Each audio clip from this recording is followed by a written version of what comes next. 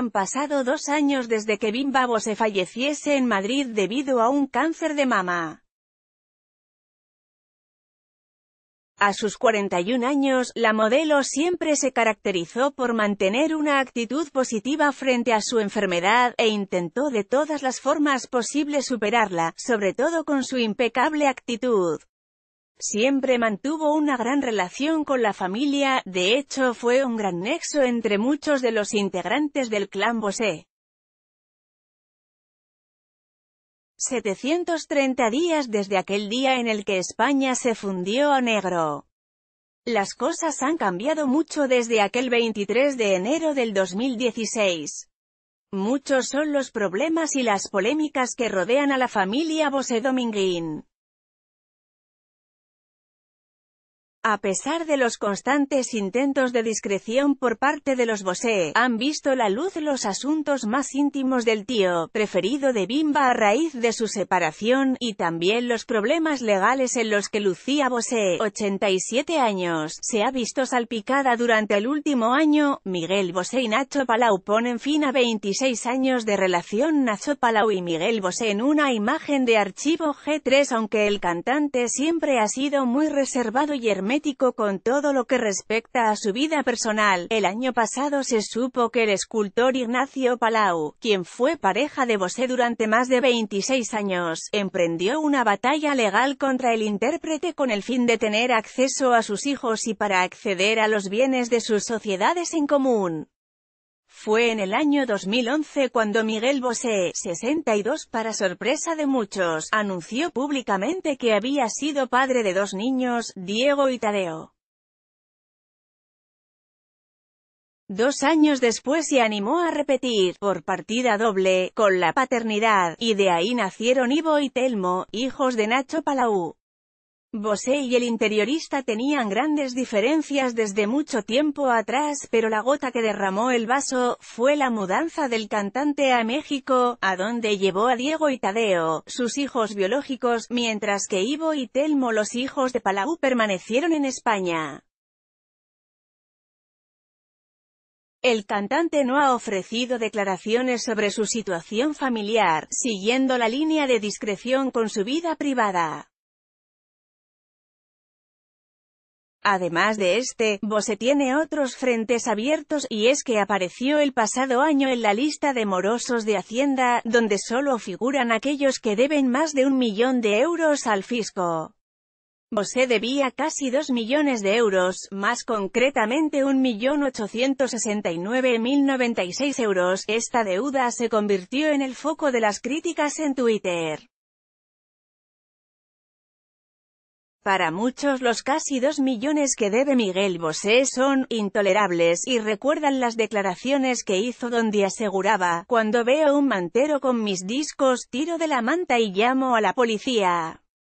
Lucía Bosé, acusada de apropiación indebida Lucía Bosé en una imagen de archivo G3 además de las diferencias entre Bosé y Palau, que llevarán al artista a declarar próximamente, su madre, Lucía Bosé, también ha pasado por ello.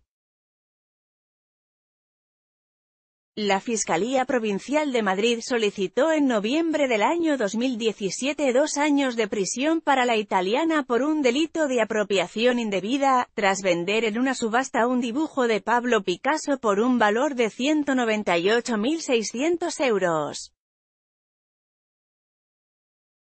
La relación entre la actriz y el pintor, que era un gran aficionado al mundo del toro, fue siempre muy cercana.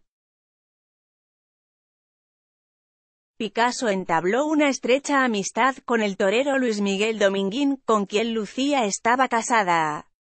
Bosé posee una colección de Picassos, parte de la cual puso a la venta en el año 2008. Pablo Picasso fue un muy querido amigo mío y de mi familia y esta colección representa muchos felices momentos que pasamos juntos.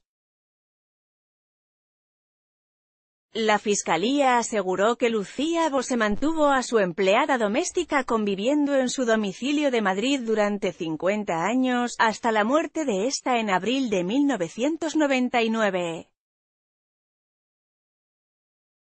Al vivir allí, la empleada doméstica guardaba en la vivienda de la familia Dominguín Bosé todas sus pertenencias. La acusada, según el Ministerio Público, sacó a subasta el dibujo y no entregó dicho dinero a las herederas de Remedios al fallecimiento de esta. La Fiscalía reclamó una indemnización por dicho importe para las dos sobrinas de Remedios, a quienes se considera herederas. El esperado juicio contra Lucía, 87 años, por apropiarse, presuntamente, de un cuadro del pintor, no ha tenido lugar finalmente. Las sobrinas y herederas de la mujer, ya fallecida, han solicitado que Miguel Bosé declare como testigo porque conoce mucha información sobre el asunto, y su testimonio es importante. Esta petición ha sido aceptada por la sala, lo que ha provocado que el juicio quede pospuesto y, por el momento, sin fecha, muchos culpan a Olfo Bosé de filtrar información a la prensa Olfo Bosé.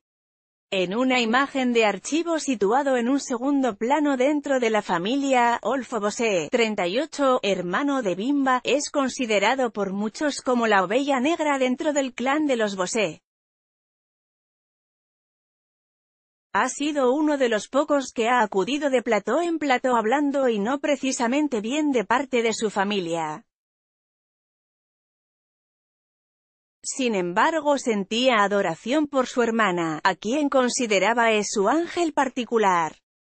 Pero su actitud con otros miembros de la familia, como es el caso de Miguel Bosé, ha tenido consecuencias para él y ha tenido que ver en primera persona como parte de su familia le daba la espalda. Olfo nunca queda bien parado. Hubo comentarios que decían que era un viva la vida y que Miguel no quería nada de él porque anteriormente había salido en televisión, comentó la periodista Beatriz Cortázar en una entrevista. Olfo ha llegado a sentirse muy molesto por esa visión que se tiene de él ya que no la considera justa, él puso luz a unos problemas en un momento dado, pero siempre es el blanco fácil al que le caen todas las críticas. Más información, Miguel Bosé responde con otro vídeo a todos los que se preocupan por su salud.